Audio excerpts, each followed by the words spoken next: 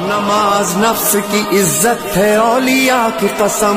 नमाज़ दीन की हुरमत है औसिया की कसम। नमाज़ हुस्न शराफत है अम्बिया की कसम।